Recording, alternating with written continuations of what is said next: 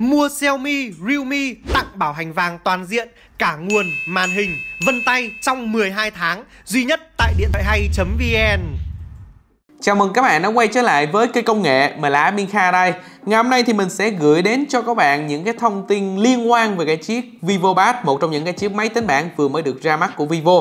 Let's go, tìm hiểu luôn chứ không có chần chừ gì nữa các bạn à, thông số nó quá tốt đi. Đầu tiên là mình sẽ nói về phần màn hình trước nhé. Có tần số quét là 120Hz, độ phân giải sẽ là 2,5K, đi kèm với đó là hỗ trợ công nghệ Dolby Vision. Thì với cái phần màn hình của con này mình nghĩ là nó đã rất ấn tượng trong mức giá này rồi. Cái thứ hai là nó có cho chúng ta là một cái mức cấu hình rất khủng. Lên tới là Snapdragon 870 Thực chất ấy, là Snapdragon 870 là thấy nó mạnh Nhiều bạn cứ nghĩ rằng là à, con này phải được trang bị lên tầm khoảng 15-16 triệu này kia Nhưng mà không phải đâu các bạn nhé Mặc dù nó mạnh, nó cao cấp hơn Snapdragon 865 nhưng mà cái cách thức Ờ, gọi là để chế tạo ra con chiếc Snapdragon 870 này nó đã đơn giản, nó tối ưu hơn nhiều rồi. Trước đây là Snapdragon 865 nếu như mình nhớ không lầm là nó là một cái con chip mà có cái cái phần modem mà 5G rồi. Đó, thì đến cái đời mà Snapdragon 870 thì Qualcomm đã tích hợp được vào rồi.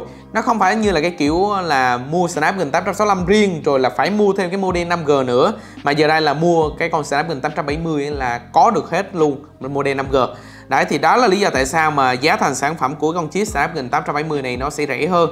Đó, Và rõ ràng là đây là cái con chip mà chỉ được ra mắt với cái việc là gì? Là trang bị trên những cái thiết bị phân khúc cận cao cấp thôi chứ không phải là dành cho cận cao cấp. Chỉ có trừ cái chiếc Oppo Reno 6 Pro ấy, thì thì Oppo mới cho lên cái phân khúc giá là tầm 20 triệu thôi chứ còn đó mà để lên 20 triệu là hơi khoai đấy. Và ở đây thì chúng ta sẽ còn có là một cái à, phần trọng lượng khoảng 489g cũng khá là nhẹ đó các bạn à.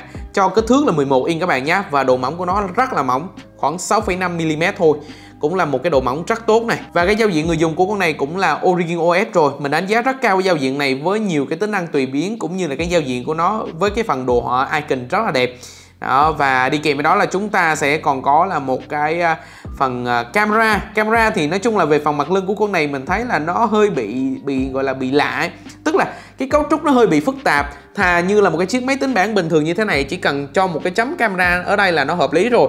Chứ còn cho thêm một cái module như thế trên một cái bề mặt lớn thì mình thấy là nó chưa thật sự là ăn nhập với cái phần mặt lưng trong có vẻ là trơn láng và liền liền mặt kiểu là nó nó tạo ra một cái điểm nhấn nhưng mà cái điểm nhấn này nó khiến cho cái phần mặt lưng này nó mất đi cái lối thiết kế tối giản.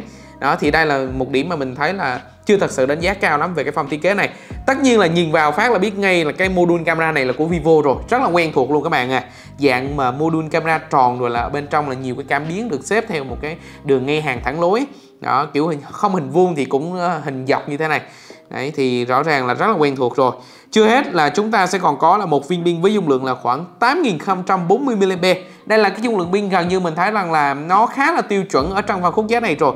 Rất là nhiều cái chiếc máy tính bảng nó cũng có cái dung lượng pin tương tự như thế như là Oppo Pad hoặc là Xiaomi Pad. Ngoài ra ấy, thì nó sẽ hỗ trợ công nghệ sạc là 44W con này thì nó sẽ có một cái phiên bản mà có RAM thấp nhất là 8GB này bộ nhớ trong 128GB thì mức giá của nó sẽ khoảng là 9 triệu đồng còn đối với lại phiên bản mà lên tới là 256 GB bộ nhớ trong ấy, RAM vẫn giữ nguyên các bạn nhé thì sẽ là khoảng 10,8 triệu đồng một khoản trên cũng gọi là khá khá đấy nhưng mà rõ ràng này trên sao bằng option bộ nhớ của Apple được đúng không nào iPhone hay là iPad cái thứ này kia thì nó quá là khủng khiếp rồi trên 3 4 triệu như thế cơ. Camera của em này thì nó sẽ có là một cái cảm biến chính với độ phân giải 13 megapixel và một cảm biến góc rộng có độ phân giải là 8 megapixel.